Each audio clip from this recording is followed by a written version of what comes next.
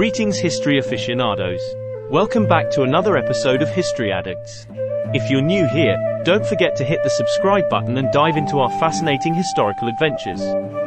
Today, we're embarking on an extraordinary journey across oceans and cultures, following the footsteps of a unique figure from the Far East who found himself walking the cobbled streets of Rome. Welcome to the story of Hasekura Tsunenaga, the Japanese samurai who visited Rome. Let's dive in. Our story commences in the year 1613, in the land of the rising sun. Our protagonist, Hasekura Rokuemon Tsunenaga, was not your everyday samurai. A vassal of the powerful regional lord Date Masamune, Hasekura was known for his valor and diplomacy, skills that would be crucial in the mission he was about to undertake. Date Masamune, intrigued by the outside world and with an ambition to establish trade links, gave Hasekura a task that was as formidable as it was historic.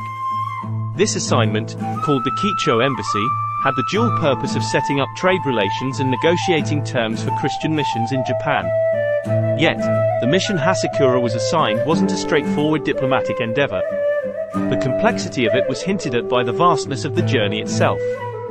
It was a voyage that would take him from the shores of Sendai in Japan, across the vast Pacific Ocean, through the lands of New Spain in modern-day Mexico, further onwards to the kingdoms of Europe, and finally, to the beating heart of Christendom, Rome. What propelled this voyage was a large ship called the Date Maru, or San Juan Bautista, an impressive 500-ton galleon built by Date's order. Laden with gifts and letters for foreign leaders, the ship carried Hasekura, 180 samurai retainers, sailors, interpreters, and Father Luis Sotelo, a Franciscan friar, who was the catalyst for this unprecedented expedition. This was not just a journey across oceans but a significant leap across cultural divides, a voyage into the unknown that promised riches or ruination. For Hasekura, it was a mission that would place him in the annals of history.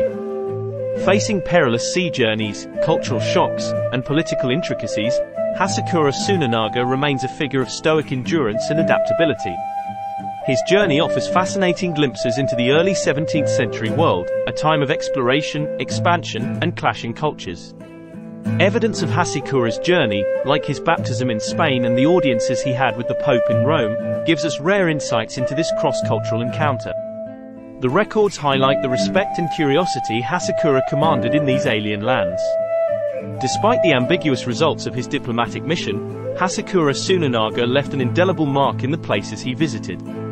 From Mexico, where a statue commemorates his voyage, to Rome, where his portrait still hangs in the Doria Pamphilj Gallery, his memory lives on.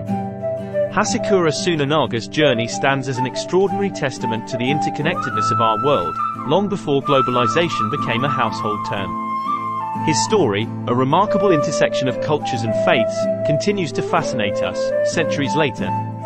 From the samurai courts of Japan to the papal halls of Rome, Hasekura Tsunenaga's journey is indeed a fascinating tale of courage, resilience, and the endless possibilities of cross-cultural exchanges.